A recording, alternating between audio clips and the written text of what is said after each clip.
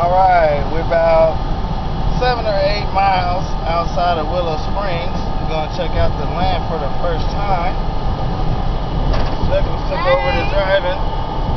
We're almost there. We're too excited. It's beautiful country. Yep.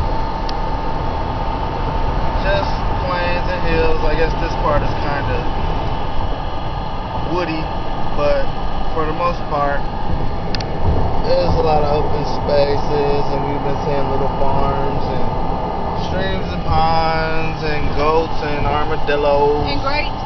and grapes. There's a lot of grapes, a lot of wineries. So we'll check back in in a few minutes. But we're excited, yay! It's gonna be awesome.